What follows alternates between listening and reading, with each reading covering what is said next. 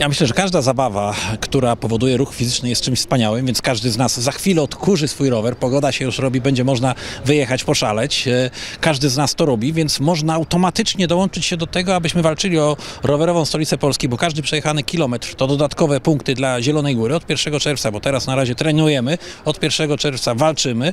Ja dodatkowo rzucam wyzwanie wszystkim politykom, e, posłom, parlamentarzystom, radnym, rzucam wyzwanie pani marszałek, kto z nas wykręci więcej e, kilometrów, ten dostanie torta upieczonego przeze mnie, e, a jestem przekonany, będąc łasuchem, że wygram i wykręcę kilometrów, więc niech każdy dołączy się do rywalizacji, zobaczymy kto wygra. Ja już i aplikację zainstalowałem, aktywne miasta i można zrobić kilometry na rowerze. Chyba każdy z nas lubi czasami pojechać na rowerze, coraz więcej wspaniałych ścieżek, więc warto. Każdy rowerzysta, który chce wziąć udział w tym plebiscycie, musi ściągnąć aplikację na smartfona z systemem Android lub iOS.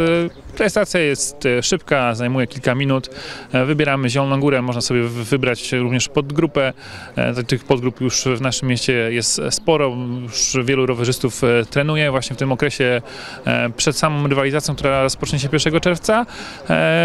I za każdym razem, kiedy wsiadamy na rower, aplikację odpalamy, kiedy kończymy przejażdżkę, aplikację stopujemy i kolejne kilometry wpadają na konto Zielonej Góry. Co ważne, rywalizacja jest sprawiedliwa, nie jest zależna od wielkości miasta, ponieważ ilość kilometrów dzieli się przez ilość e, mieszkańców. Dzięki temu zarówno bardzo duże miasta mogą brać udział w tym, w tym plebiscycie, jak i średnie i mniejsze. Ja bym tutaj to podpiął pod taką trochę sportową rywalizację, oczywiście pół żartem, pół serio. Eee, rower to jest ruch, ruch to jest zdrowie i forma też jakiegoś tam sportu i rekreacji.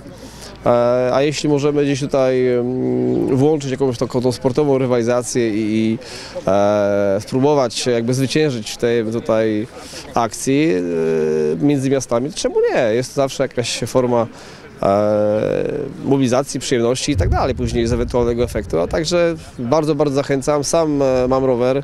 Oczywiście e, codziennie nie jeżdżę, ale dwa, trzy razy w tygodniu uda, udaje mi się e, parę, ku- parę, parę kilometrów pokręcić. Dzisiaj się dowiedziałem, że jest wspaniała aplikacja, którą oczywiście której będę korzystał.